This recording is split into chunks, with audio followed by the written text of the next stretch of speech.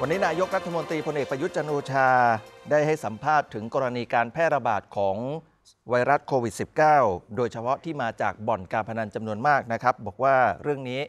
จะจัดการเอง ซึ่งการย้ายเจ้าหน้าที่เป็นเรื่องธรรมดา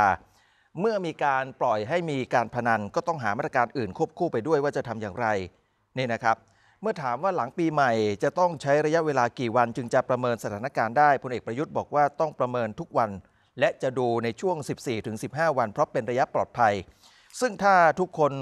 รู้ว่ามีความเสี่ยงอยู่ก็ขอให้อยู่กับบ้าน ประมาณ 14-15 วัน โดยให้ work from home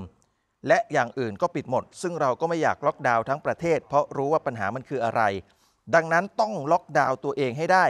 แต่ถ้ายังไปมาหาสู่กันทั้งหมด ก็ตรวจสอบคนทั้ง 70 ล้านคนไม่ไหวนะครับ นี่นะครับ เดี๋ยวลองฟังดูบางช่วงบางตอนที่พูดถึงสถานการณ์ครับ ผมก็ได้กำหนดแนวทางไว้แล้วในเรื่องของการจัดหาเรื่องวัคซีนต่างๆเหล่านี้นะก็คาดว่าประมาณอีกประมาณสักเดือนหรือสองเดือนเนี่ยจะได้ส่วนแรกมาก่อนนะของของประเทศหนึ่งนะจำนวนสักสองล้านสองล้านโดสนะแล้ววันนี้ก็เป็นห่วง28 จังหวัดที่แพร่เชื้อจำนวนมากนะซึ่งถ้าเราควบคุมได้แล้วทุกคนอยู่ในจังหวัด ไม่ไปไหนเลย มันก็จะแก้ได้เป็นจังหวัดจังหวัดไปใช่ไหมแต่ถ้ายังไปมากันอยู่ตลอดไม่ได้ถ้าทุกคนที่รู้ว่ามีความเสี่ยงอยู่บ้าน14วัน15วันวันนี้ก็เมื่อคมโฮมบ้างโรงเรียนก็ปิดใช่ไหมอย่างอื่นก็ปิดหมด เว้นแต่ที่ไหนเขามีมาตรการที่ที่รัดกุม เราก็ไม่อยากจะไปล็อกดาวน์ทั้งประเทศนะถ้าเขารู้ว่าปัญหามันคืออะไรเพราะฉะนั้นถ้าล็อกดาวน์ตัวเองก็ได้บ้างไหม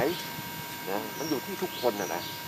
ถ้าเราไม่อยากจะไปติดเชื้อเราก็ไม่ต้องไปไหน อยู่บ้าน14 15วัน ถ้าทุกคนคิดแบบนี้มันเดี๋ยวมันก็ปลอดภัย มันก็จะคัดกรองคนได้ง่ายขึ้น นี่นะครับขณะเดียวกันก็เนี่ยพูดถึงเรื่องของวัคซีน